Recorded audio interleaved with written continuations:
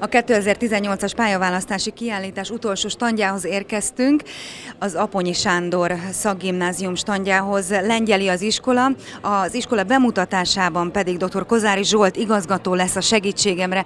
Igazgató úr, miért és kinek érdemes az Aponyi Sándor szakgimnáziumban jelentkeznie? Hát elsősorban azoknak érdemes, akik a mezőgazdaság iránt érdeklődnek, ugyanis az iskolánk egy mezőgazdasági iskola, amely kizárólag mezőgazdasági képzéseket nyújt. A környezet is nagyon szép, egy vidéki kis faluban van, csodálatos kastélyparkban, 14 és fél hektáros parkban, és ide várjuk szeretettel az érdeklődő gyerekeket, akiket a vidék, illetve a mezőgazdaság érdekel. Mezőgazdaságon belül milyen szakirányok vannak? A képzéseinket két csoportba lehet sorolni, a szakgimnázium, illetve a szakközépiskolai képzések.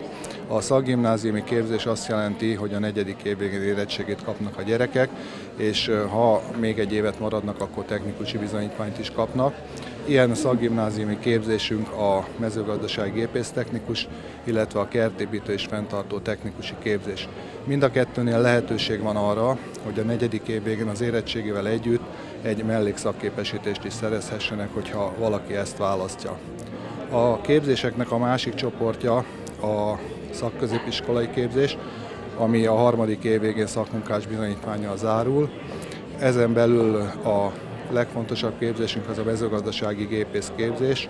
A gyerekek körében töretlen népszerűségnek örvend most már évek óta, illetve felfutóban van a kistermelői élelmiszer előállító palusi vendéglátóképzés, de képezünk kertészeket, disznövénykertészeket, családi gazdálkodót, virágkötőberendezőt is, hogyha van rá igény.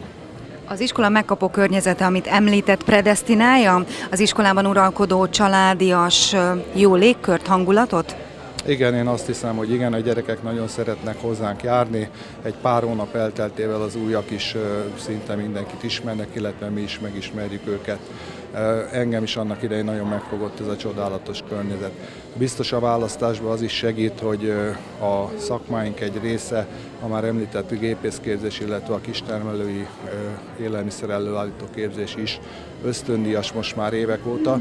Ez azt jelenti, hogy a tanulók, mivel hiány szakma, akár 35 ezer forint ösztöndíjat is kaphatnak, hogyha jól tanulnak, illetve hogyha tanulószerződést kötnek az első év végétől, akkor ez még 20 ezer forinttal több lehet, tehát 50-55 ezer forintot is akár hazavihetnek havonta.